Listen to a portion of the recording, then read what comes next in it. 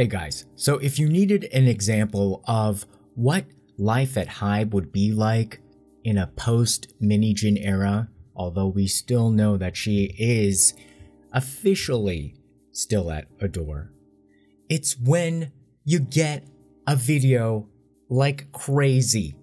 LE SSERAFIM's new music video just dropped a couple days ago. Jin from BTS has already done the dance challenge and it pissed off a few bunnies. But this music video, to me, seems like LE SSERAFIM's actual debut to be themselves in all of their quirky funness. So we're gonna react to LE SSERAFIM's Crazy, the music video, but I wanted to put it in context because I think that there's going to be a renaissance of creativity throughout all of the Hybe sublabels now that we don't have this overhang and drama with Min Hee-jin stirring things up and sabotaging other people's songs.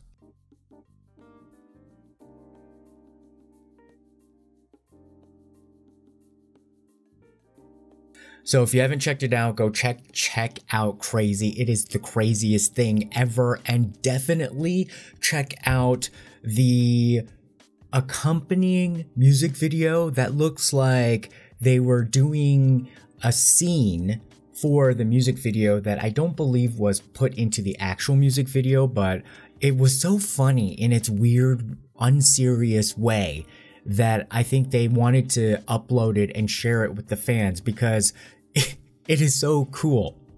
Anyhow, so let's talk about LE SSERAFIM because if you're like me, you kind of only paid attention to LE SSERAFIM in context of the whole Min Hee-jin, New Jeans, BTS drama, and perhaps you're not like a huge uh, girl group fan. And so, eh, like, you know, I kind of saw them in passing here and there, but I didn't really pay much attention. For this video, I went and looked through all and watched every single music video that they published. And it really does seem like these girls are super talented, but not just talented. They strike me more theatrical. So, you know, in the whole entertainment business, there is some real big street cred if you say like you are theater trained, like you, you actually do theater, even though film and TV gets a lot more of the hype and the buzz and the bigger paychecks. There's something about the quality of artist you are if you're like theater trained. And these girls seem to be more along the lines of they are trained professionals who show up to work. LE SSERAFIM, what, what, what does this mean? Okay, so LE SSERAFIM is a different, it's cutesy spelling of seraphim, which means angels.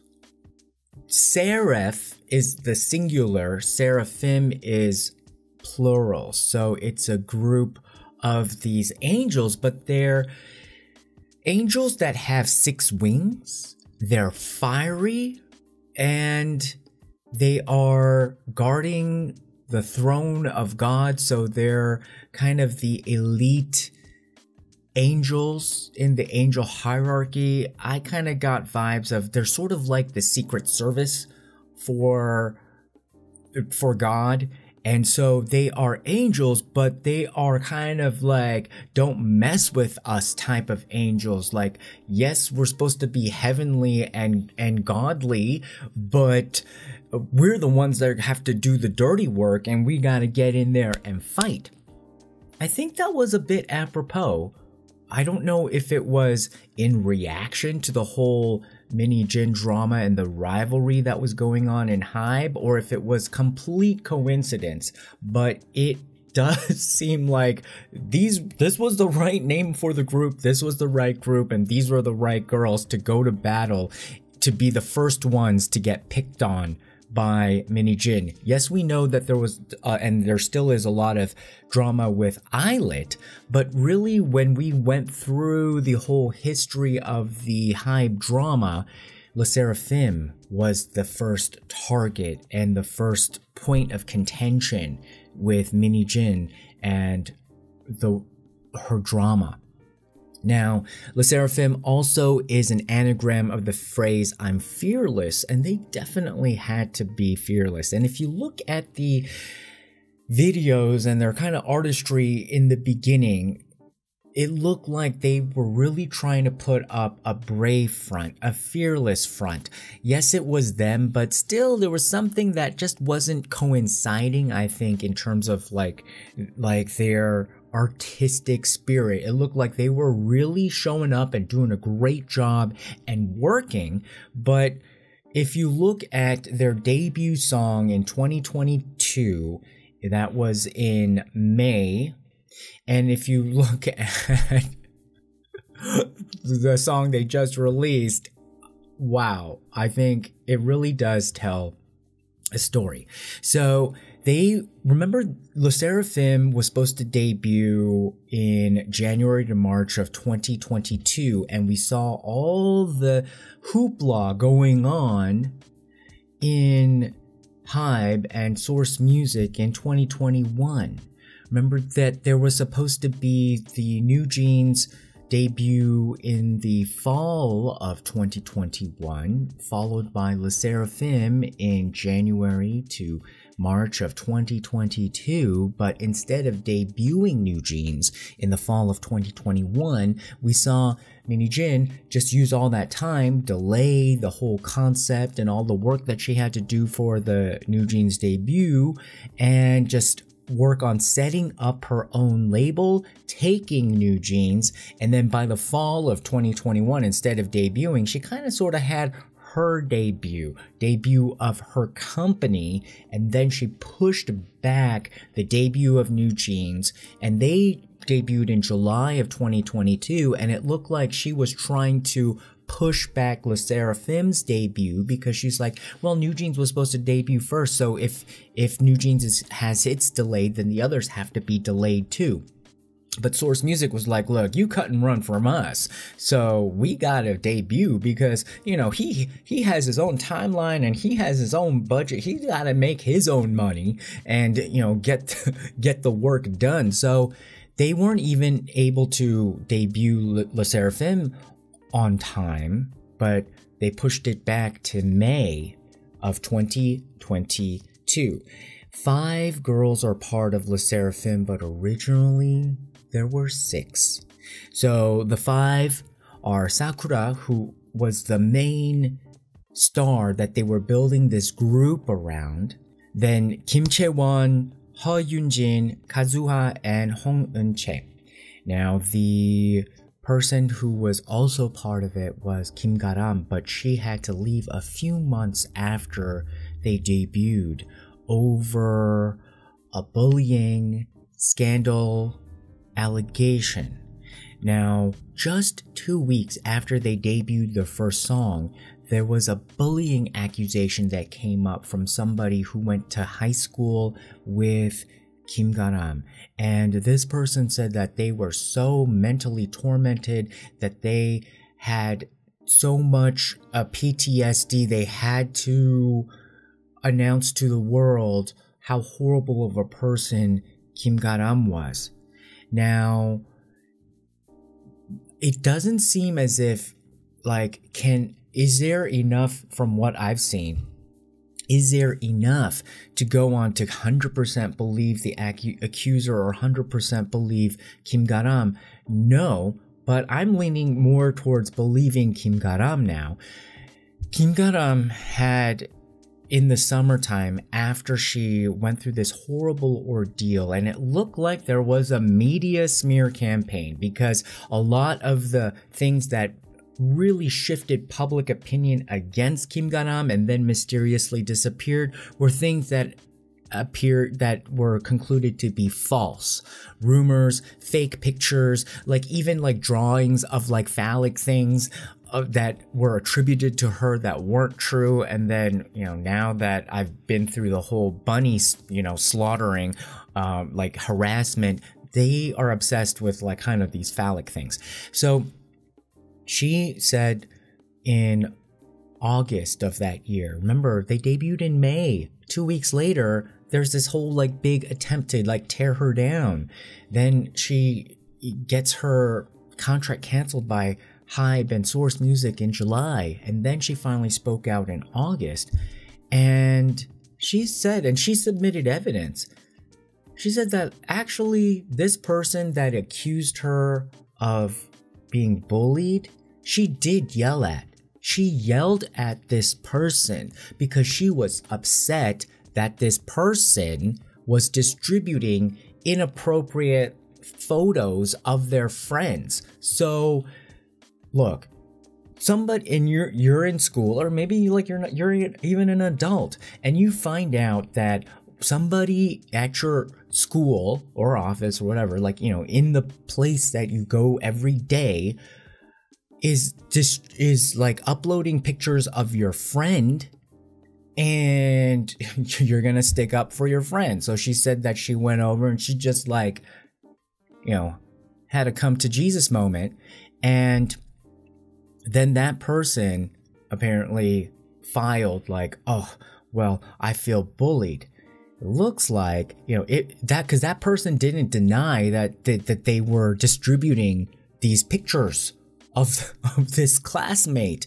So it looks like to me that person was just as tricky as, you know, somebody else in a blue cap. And instead of dealing or kind of admitting and repenting and atoning for doing something bad, they're going to throw the blame on, like, I don't like how you yelled at me about that. I feel bullied.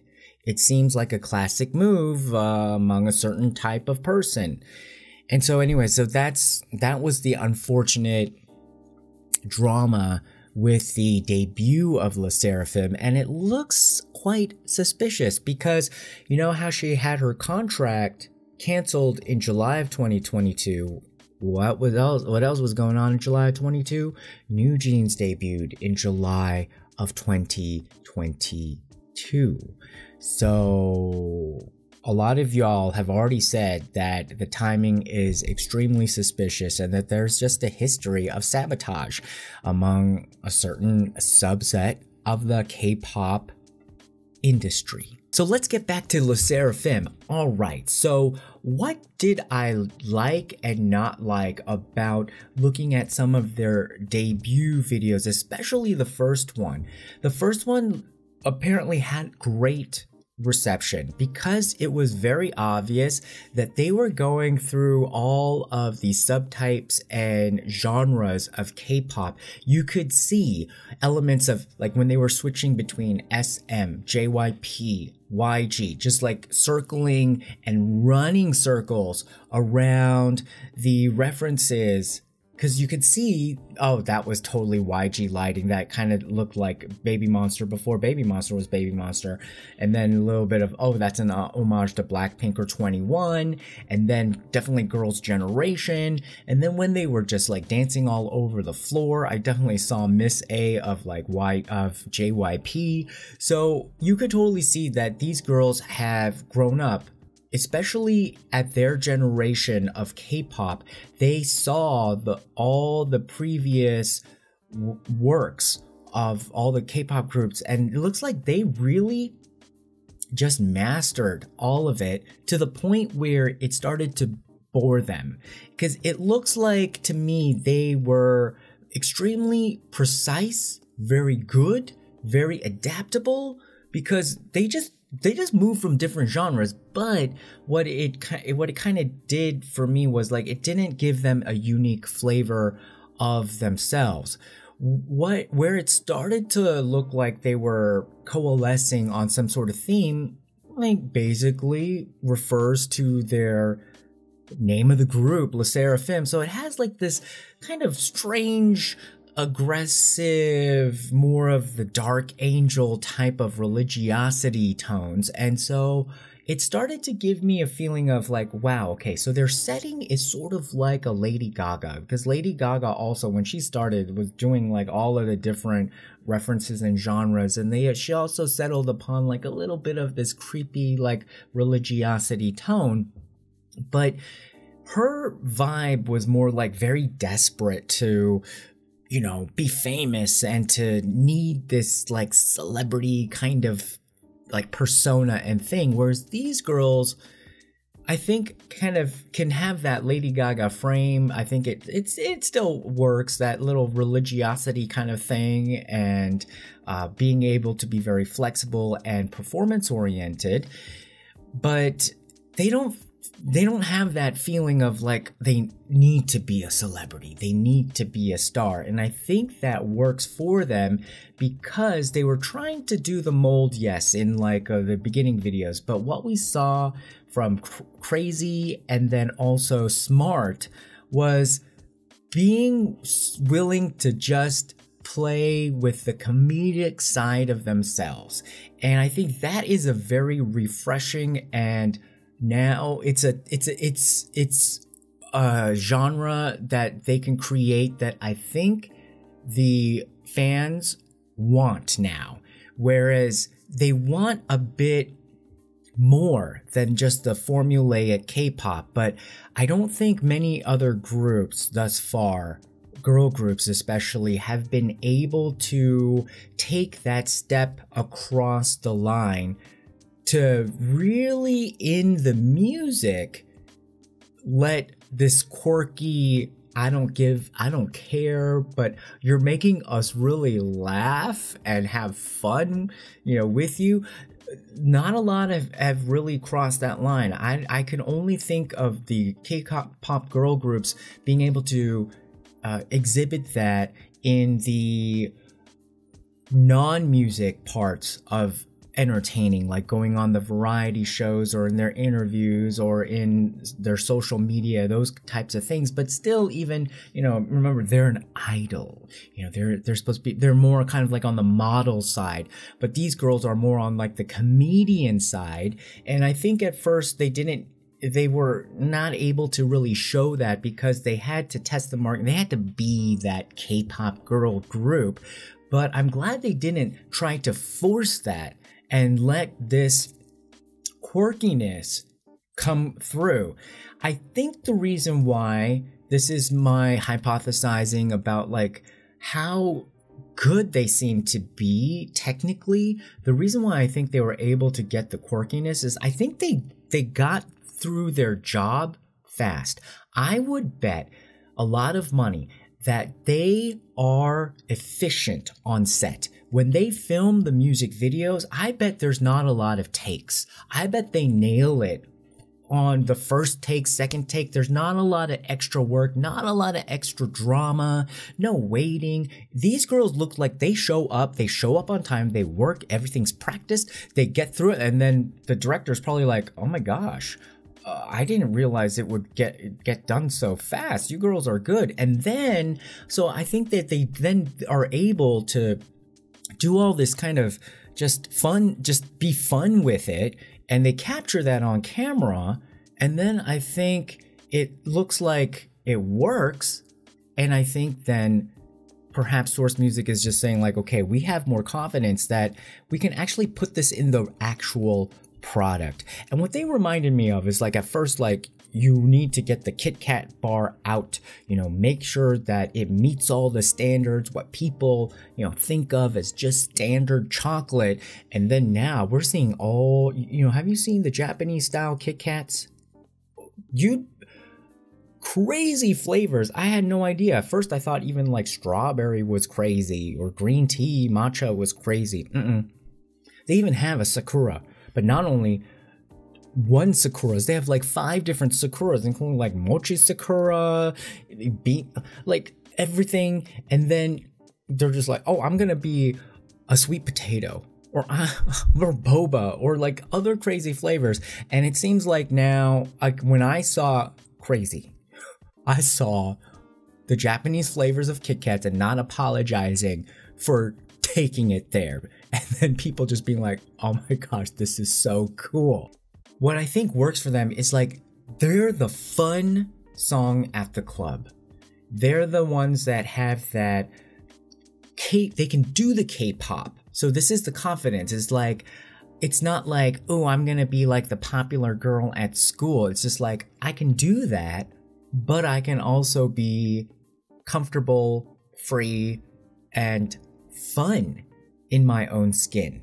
And I think now that they have the burden of the whole blue cap, green stripe lady off of them, they are now able to be free to just let 100% of their energy go towards this is our flavor. This is our color. It gave me this like very artistic and quirky sound almost like a lily allen. Lily allen you know with that like very charming vibe of like fu but i'm you know but she's still very pop. She's like this underdog fighter in like a flouncy skirt. But then also these the Le Sserafim girls look like they have the vibe of now like a little bit more of like a Zendaya or Olivia Rodrigo all that I think combined together, I think they should lean into because like we're seeing a lot of fun stuff uh, from from their latest release, and I think they're like the girl crush, but the girl crush of a comedian. Like if you are really happy to be with the fun girls who actually look, you know, like be- like you know the beautiful popular girls this is probably why they were hated on so much because you know usually you only get one or the other but it looks like these girls have both. And you know these are the smart ones. These are the smart funny and very hardworking, talented girls. And so I'm really glad that they were able to do such a fun music video and they're not so concerned about looking like so glamorous because I think that will really hold them back and this is where they have their competitive advantage if they do just more of the things that really entertain us and make us laugh in the context of a K-pop song, which is incredibly hard to do, and I think they did it. One confirmation I got about how talented they were was when they were doing this dance with Zico Zico was like, "Oh, I learned it the opposite way, like reverse. Like instead of like you know right arm up, left arm up, can we do it that way?" And the girl were like immediately like, "Okay, we can reverse our dance." And then for one of their live music shows, they had outfits that were crocheted by one of the members. She crocheted it. I I think they need to lean into that. That's that's that's weird. That's crazy. It's cool. it's uh, she crocheted their outfits. Who does that? And on the music video Crazy itself, I thought this was very on point, on key, like very smartly done.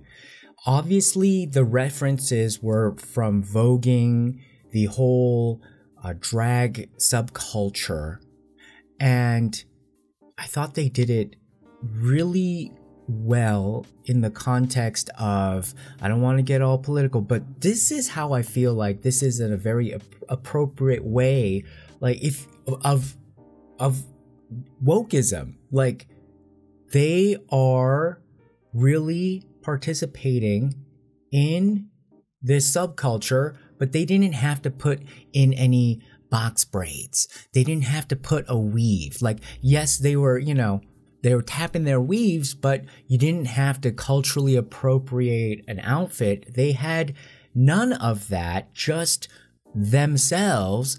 And, you know, there were probably girls like at this age, they were in, in junior high, they were probably tapping their weaves without never even having a weave in their life.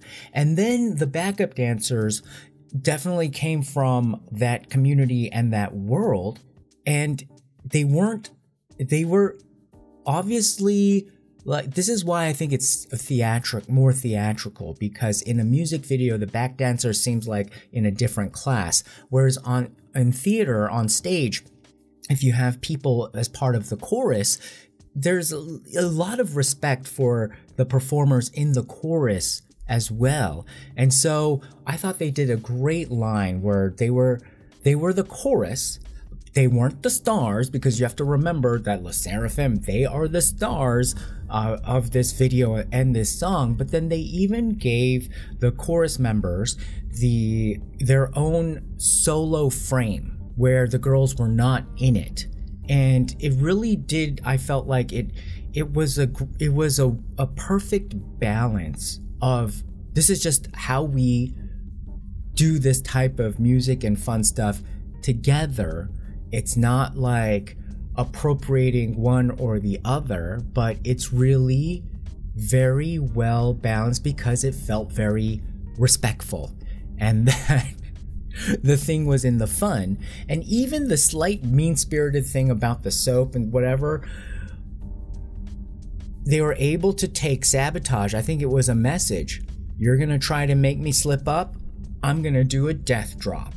So, so that just shows a bit of the strength that the girls have created through this horrible, horrible ordeal.